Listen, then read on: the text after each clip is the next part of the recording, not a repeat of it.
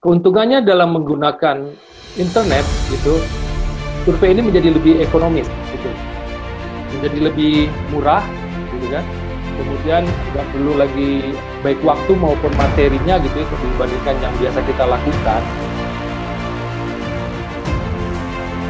Walaupun Indonesia dikenal sebagai negara yang terbesar ya itu saya menggunakan mobile phone gitu smartphone gitu tapi ternyata tercatat hanya 64 persen aja penduduk Indonesia yang terhubung dengan internet.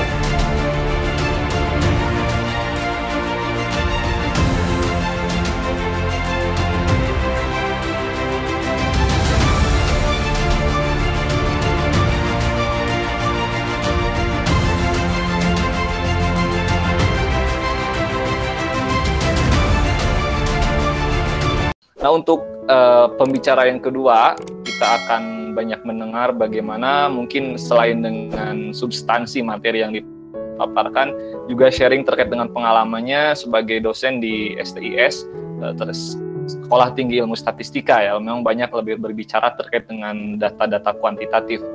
Oke, uh, saya persilakan saja langsung kepada para uh, pembicara yang kedua, yaitu Mas Jeffrey. Waktu dan ruang disilakan. Terima kasih Mas Agus yang sudah memberi kesempatan kepada saya pada kali ini. Uh, pertama-tama saya ucapkan selamat malam, salam sejahtera, salam sehat buat kita semua. Uh, pada kesempatan ini saya akan menjelaskan mengenai uh, riset kuantitatif atau penelitian kuantitatif di era sekarang ini. Dan saya sudah menyiapkan materinya dalam bentuk PPT. Mohon izin untuk saya bisa uh, menampilkan PowerPoint slide PowerPoint-nya. Oke, okay, saya beri judul survei kuantitatif di abad ke-21. Di awal saya akan menjelaskan sedikit mengenai revolusi industri karena ini nanti terkait sekali dengan apa yang akan dilakukan atau akan dibahas pada poin-poin berikutnya. Seperti yang kita tahu bahwa sudah terjadi beberapa kali revolusi teknologi itu diawali dari tahun 1784 gitu yang merubah tenaga manusia dan tenaga hewan gitu ke tenaga mesin. Kemudian berikutnya berubah lagi setelah ditemukan pembangkit listrik dan motor penggerak. Kemudian berubah lagi di tahun 1999 setelah ditemukannya komputer. Nah, di sinilah dimulai istilah revolusi digital. Dan sekarang sudah semakin hebat lagi karena antar komputer sudah terhubung gitu. Nah, semua komputer bahkan sudah selalu terhubung dengan jaringan raksasa secara bersama-sama gitu. Dan bahkan sekarang dengan teknologi terkini bisa melakukan menciptakan 1001 sensor gitu ya yang bisa mencatat setiap pergerakan termasuk pergerakan manusia sehingga banyak sekali informasi yang bisa kita dapatkan di era sekarang ini. Nah, berkaitan dengan itu ternyata sejalan juga dengan kegiatan survei yang ada dari waktu ke waktu gitu. Di awalnya kita mengenal istilah PEPI itu. Ya, itu yang biasa kita lakukan, kita mendata atau mendatangi responden dengan membawa kuesioner, kemudian kita melakukan tatap muka atau wawancara secara langsung gitu. Kemudian dengan perkembangan teknologi dilakukanlah pendataan melalui telepon gitu.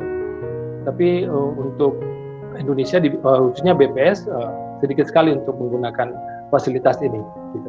Nah sekarang sudah berkembang lagi dengan menggunakan komputer ya dengan menggunakan dibantu oleh web gitu atau internet gitu.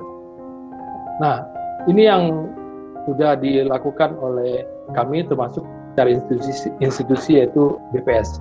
Jadi kita sekarang fokus kepada survei yang mengandalkan uh, internet.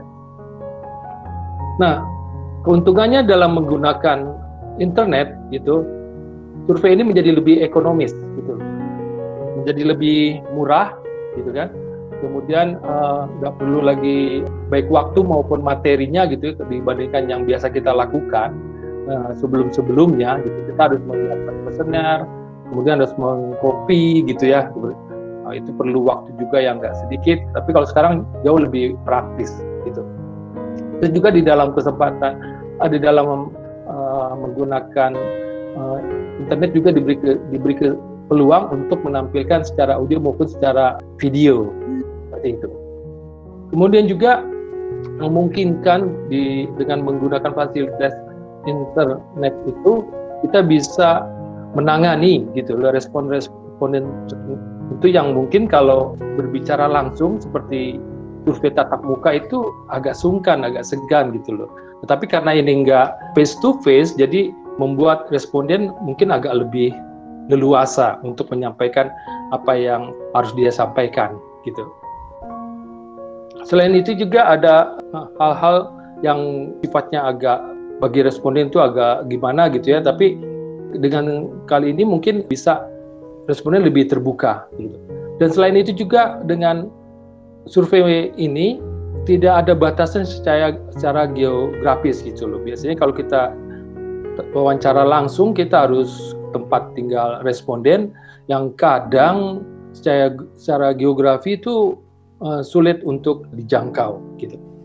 Nah, tetapi ada beberapa batasan yang melekat pada survei yang menggunakan internet ini yaitu batasan cakupan gitu loh. Nah, seperti kita ketahui, walaupun Indonesia dikenal sebagai negara yang terbesar ya antara eh, negara terbesar yang menggunakan mobile phone gitu ya smartphone gitu tapi ternyata tercatat hanya 64 persen aja penduduk Indonesia yang terhubung dengan internet gitu loh jadi belum semua penduduk Indonesia terkoneksi dengan internet gitu. Nah, itu masalah dalam hal cakupan. Jadi kita nggak bisa menjangkau seluruh penduduk Indonesia. Kemudian yang selanjutnya terjadi bias sampling gitu loh. Kita nggak mempunyai kerangka sampel gitu. Nah, biasanya kan kalau uh, kita bicara statistik adalah mengestimasi parameter populasi gitu. Oleh karena itu kita akan membentuk kerangka sampel. Nah dari kerangka sampel itulah kita akan menentukan sampel yang eligible. Nah berdasarkan itu kita bisa selanjutnya memperkirakan parameter populasi. Gitu. Nah dalam hal ini itu tidak bisa kita lakukan.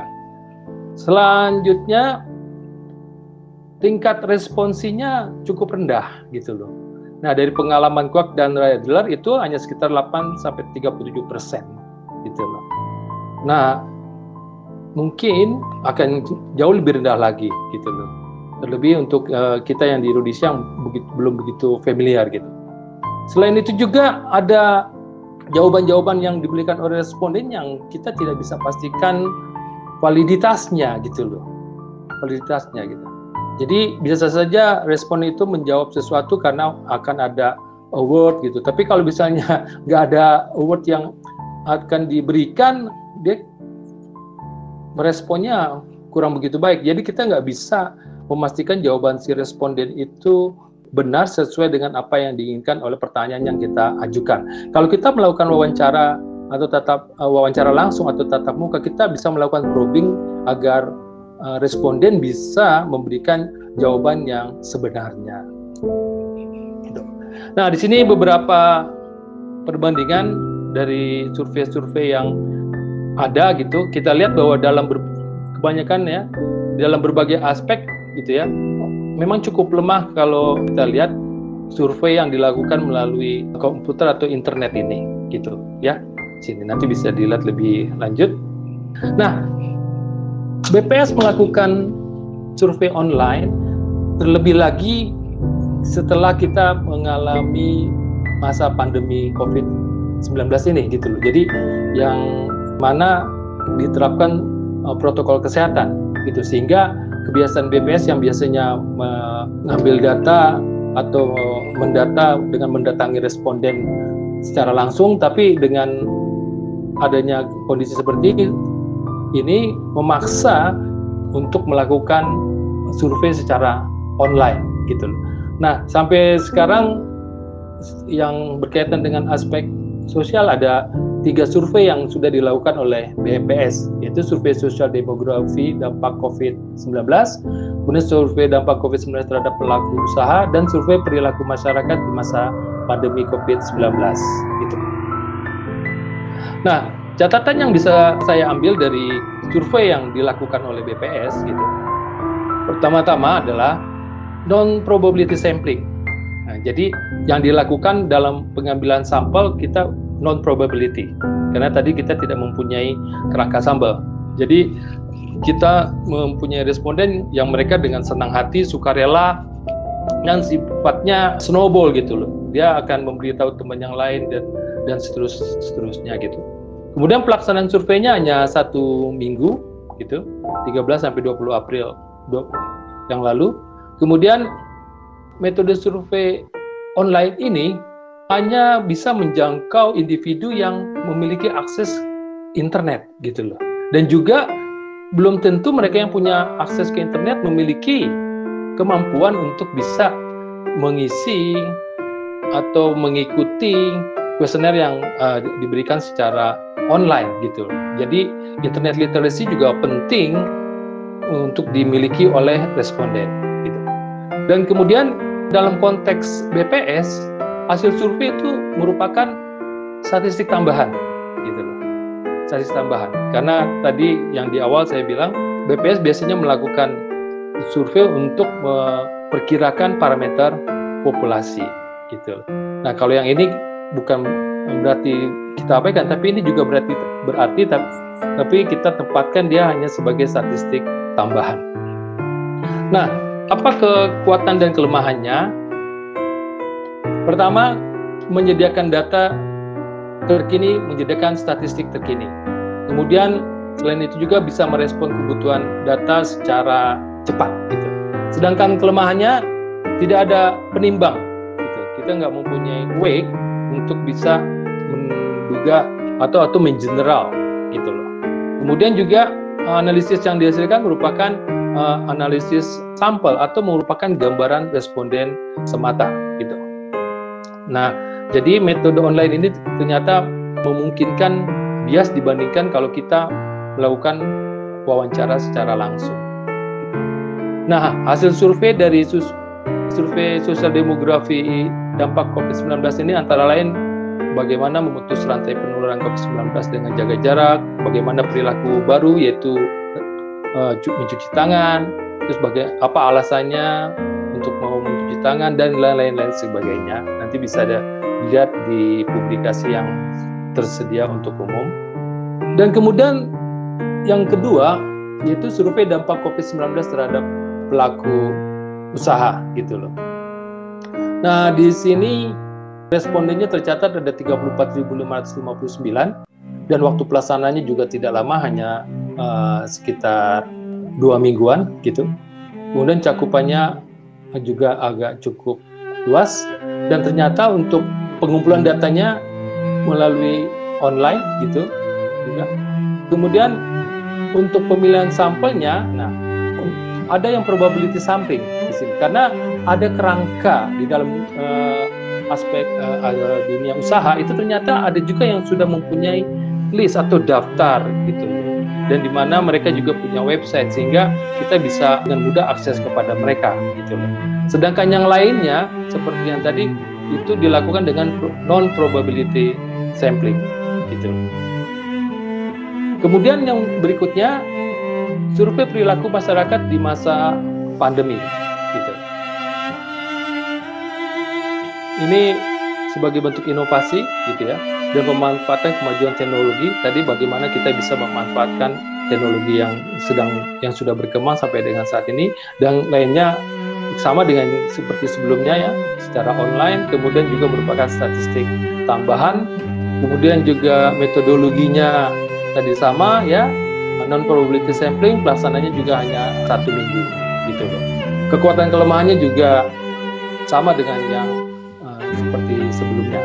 Nah dari hasil survei ternyata uh, kita hanya bisa menjangkau sebanyak 90.967 uh, responden dan kita bisa mendapat informasi mengenai persepsi kepatuhan, aktivitas dan alasan tidak menekan protokol kesehatan, respon terhadap orang terinfeksi COVID-19, frekuensi keluar rumah setelah adaptasi uh, kebiasaan baru, penerapan protokol kesehatan dan lain-lain sebagainya. Nah, selanjutnya yang tidak bisa kita uh, abaikan lagi adalah big data gitu. Gitu. Big data. Jadi sekarang ini kita secara nyata melihat bahwa begitu banyak data yang tersedia gitu loh.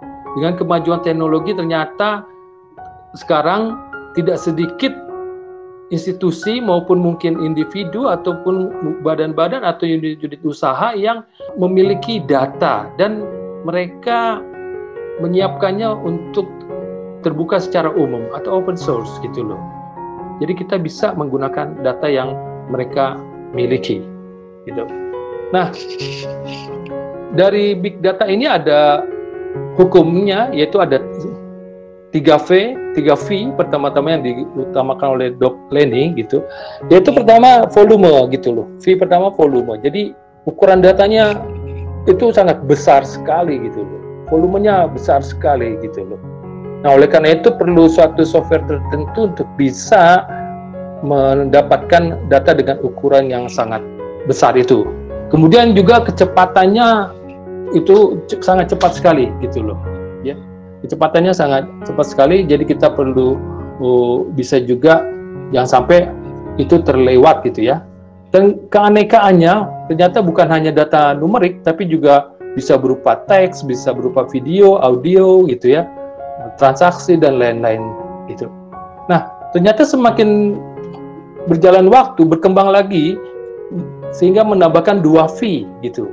Dan variabilitas. Ternyata hal yang tadi itu nggak bisa dijamin akan continue gitu loh.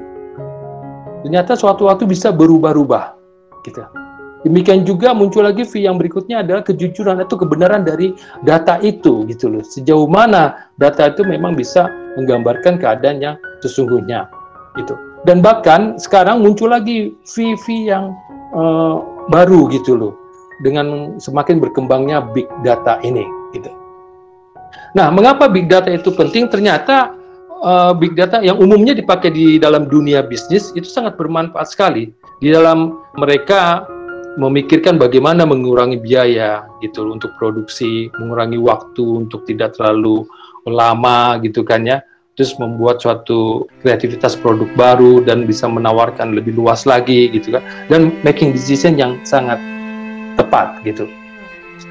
Dan juga di dalam dunia bisnis ini yang lebih yang lebih cenderung mereka menggunakan itu itu big data bisa dipakai untuk mengevaluasi apa yang menyebabkan kegagalan, apa yang menyebabkan masalah masalah itu terjadi secara tepat waktu karena teknologi itu bisa langsung merekam seperti itu. Kemudian selain itu juga bisa mendeteksi kalau ada hal-hal yang tidak baik gitu atau perilaku curang yang dilakukan yang bisa merugikan organisasi atau usaha gitu. Nah, itu big data secara sekilas. Nah, sekarang kita lihat bahwa ternyata BPS juga mencoba memanfaatkan big data. Yang tadi eh, di awal big data itu cenderung dilakukan oleh mereka para pebisnis gitu. Tetapi teman-teman kami di BPS itu mencoba melihat apa kira-kira yang bisa dipakai dari big data itu sehingga itu bisa membantu itu apa yang dilakukan. Terlebih tadi um, yang terkait dengan dampak COVID-19 gitu loh. Ternyata ada beberapa hal yang bisa dilakukan oleh BPS gitu. Dan itu semua sudah dipublikasikan. Ada dua publikasi yang dihasilkan oleh BPS yaitu tinjauan big data terhadap dampak COVID-19 kemudian yang kedua analisis big data di tengah masa adaptasi kebiasaan baru COVID-19. Gitu. Nah, data yang diambil oleh BPS pertama adalah indeks mobilitas Google. Di sini BPS ingin melihat bagaimana mobilitas penduduk setelah adanya pandemi COVID-19 gitu. Jadi data ini merupakan uh, data uh, sekunder gitu ya, data sekunder. Nah, itu bisa diperoleh dari website gitu ya. Google.com COVID-19 Mobility. Kemudian untuk jumlah penerbangan, mau lihat bagaimana penerbangan setelah terjadinya konflik 19 gitu ini juga merupakan mobilitas penduduk gitu ya baik dari Jakarta keluar atau dari uh, luar daerah Jakarta masuk ke Jakarta baik secara domestik maupun secara uh, internasional dan ini ada uh, websitenya yang bisa kita andalkan untuk mendapatkan data itu. Nah, yang ketiga yaitu marketplace untuk mendapatkan bagaimana dampak orang-orang pada apa berbelanja gitu kan setelah adanya COVID-19 gitu loh. Nah, jadi itu antara lain contoh big data yang bisa dipakai untuk membantu penelitian yang dilakukan sebelumnya. Gitu. Nah, dari semua yang sudah uh, dijelaskan tadi, saya mencoba memberikan beberapa kesimpulan. Gitu. Yang pertama bahwa survei kuantitatif itu harus terus dilakukan dengan menyesuaikan kemajuan teknologi gitu. Kemudian yang berikutnya bahwa kita sebagai seorang peneliti harus terus meningkatkan kemampuan kita baik knowledge maupun skill sesuai dengan teknologi terkini sehingga kita bisa memanfaatkan segala perkembangan yang ada gitu. Ternyata selain itu juga baik secara internal kita melihat secara eksternal gitu loh dengan perhatian bahwa fokus kita adalah masyarakat. Oleh karena ya, bicara mengenai masyarakat, kita mengharapkan pemerintah perlu meningkatkan kualitas SDM masyarakat dalam hal kecerdasan. Misalnya mengenai kemampuan masyarakat memahami internet, mengerti internet, akses internet dan lain-lainnya. Dan juga daya beli masyarakat gitu. Ternyata belum semua uh, penduduk Indonesia memiliki smartphone misalnya gitu. Selain itu juga dan ini yang juga sampai sekarang masih dialami oleh teman atau saudara kita di di daerah-daerah gitu ya. Pemerintah harus memperhatikan ketersediaan dan peningkatan kualitas. Yang pertama adalah listrik gitu kan ya. Gitu. Ternyata sampai sekarang masih ada juga gitu ya daerah yang belum terjangkau listrik atau sudah terjangkau listrik tapi sering mati listrik gitu seperti itu. Dengan demikian itu juga mempengaruhi kepada sistem jaringan internet itu. Nah, itu kira-kira yang bisa saya sampaikan mengenai survei kuantitatif di abad ke-21. Lebih kurangnya saya mohon maaf. Terima kasih. Terima kasih Mas Jeffrey atas paparannya. Ini sangat memberikan insight baru bagi saya secara pribadi dan uh, saya kira ini sangat bermanfaat untuk para peserta, Bapak Ibu, teman-teman